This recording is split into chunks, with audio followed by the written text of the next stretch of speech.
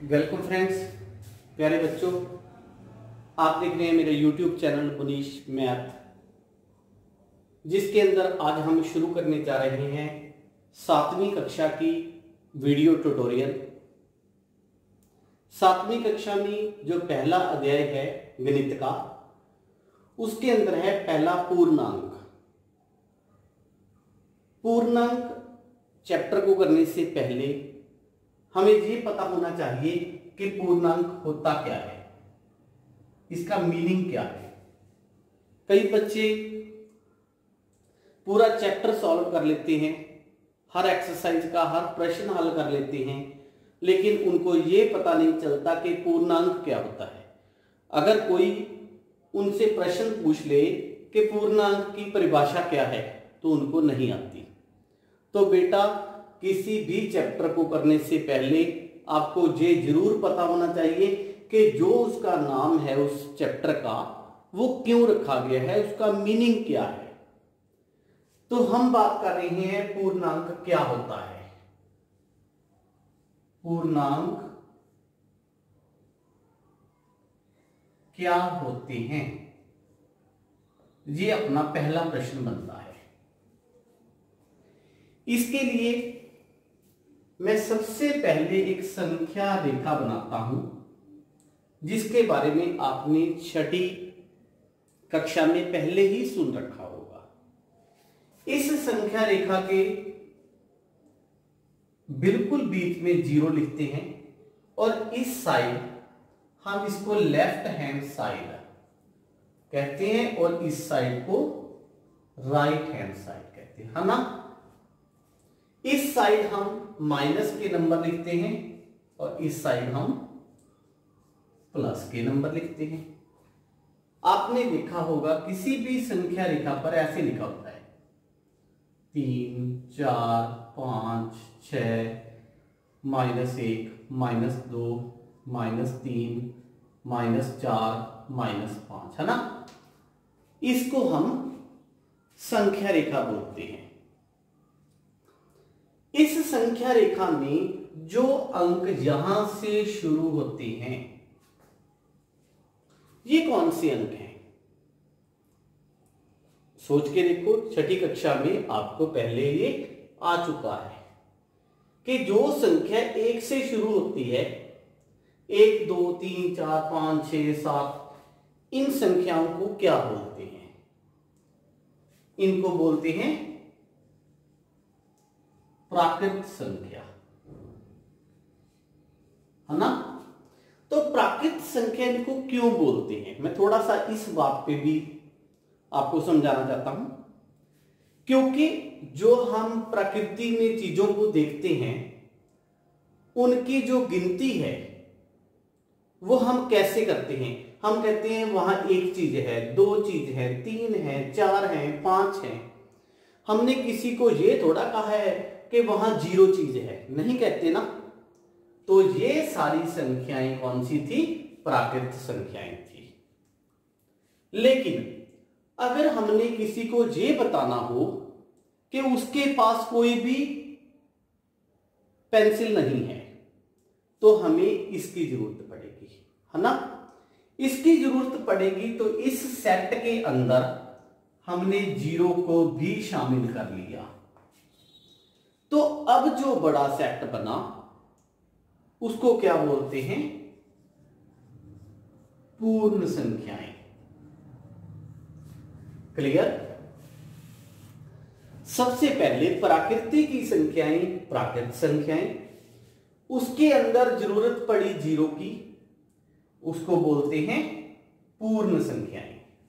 कई बच्चे कई बच्चे क्या, कई बार तो मैं भी कंफ्यूज हो जाता था इन पूर्णांक और इन पूर्ण संख्याओं के बीच। बेटा, ये दोनों वर्ड हिंदी के अलग अलग हैं, ठीक है? पूर्णांक और पूर्ण संख्याएँ। आपने इनमें कंफ्यूज नहीं होना है। मैंने अभी आपको पूर्णांक तो बताया नहीं है, ये बताने वाला हूँ। अब पूर्णांक क्या होते हैं? अब जब हम इन पूर्ण संख्याओं में प्लस माइनस करते हैं। फॉर एग्ज़ाम्पल मैंने कहा, मैंने किसी से पाँच रुपए लेने हैं और उसके सात रुपए मैंने देने हैं तो माइनस से शो कर देते हैं। ठीक? जब मैं इसका हिसाब करता हूँ तो मेरे पैसे लेने निकलेंगे कि देने निकलेंगे? लेने मैंने कम है, देने मैंने ज़्यादा है। तो इसका हिसाब क्या आएगा? दो रुपए में उसको दूँगा। इन नंबरों को हम कैसे लिखते हैं फिर? माइनस दो। क्लियर? अब फिर इन पूर्ण संख्याओं के अंदर जब हम इन माइनस की संख्याओं को भी शामिल कर लेते हैं तो पूरा जो बड़ा सेट बन जाता है, इनको क्या बोलते हैं? पूर्णांक। समझ लगी? अब मैं कुछ प्रश्न पूछता हूँ आपसे। पहला मेरा प्रश्न है, सबसे छोटी प्राकृत संख्या बताएँ। सबसे छोटी प्राकृत संख्या बताएँ। तो सबसे छोटी प्राकृत संख्या, इस सेट के बीच आप थोड़ी सी नज़र घुमाओ। तो सबसे छोटी प्राकृत संख्या कौन सी आएगी? एक। ओके? चलो। सबसे बड़ी प्राकृत संख्या है बताइए। सबसे बड़ी प्राकृत संख्या। क्योंकि प्राकृत संख्याएँ एक से शुरू होती हैं और चलती जाती हैं, इसलिए सबसे बड़ी प्राकृत संख्या हमारे लिए बताना संभव नहीं है। ओके? फिर है पूर्ण संख्याएँ। सबसे छोटी पूर्ण संख्या बताएँ। ज़ीरो। सबसे बड़ी पूर्ण संख्या यह बताना भी संभव नहीं है। उसके बाद आता है पूर्णांक। सबसे छोटा पूर्णांक बताएँ। अब इस केस में देखो। पूर्णांक इस साइड भी चलते जाते हैं और इस साइड भी चलते जाते हैं।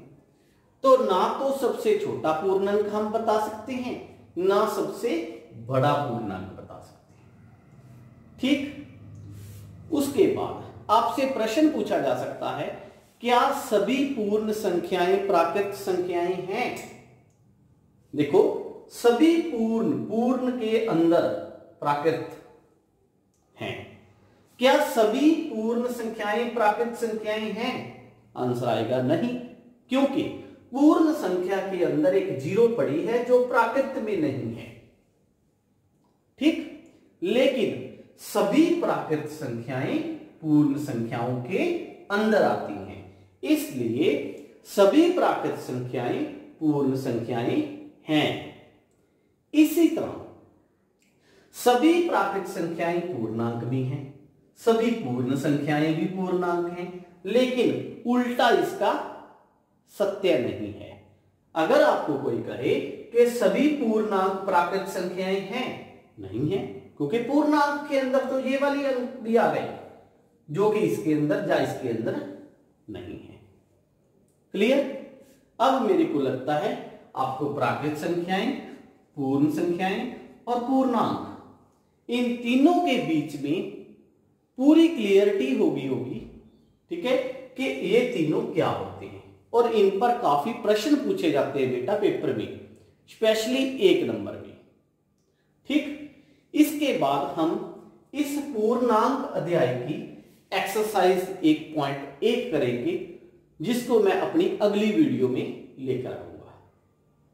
तो उतना टाइम आप इन पूर्णांक के बारे में अच्छी तरह से पढ़ें। अगर आपको मेरी वीडियो अच्छी लगे तो अपने फ्रेंड्स के साथ शेयर करें, अपने साथियों को बताएँ, ताकि उनको भी ज़्यादा से ज़्यादा लाभ हो सके। धन्यवाद।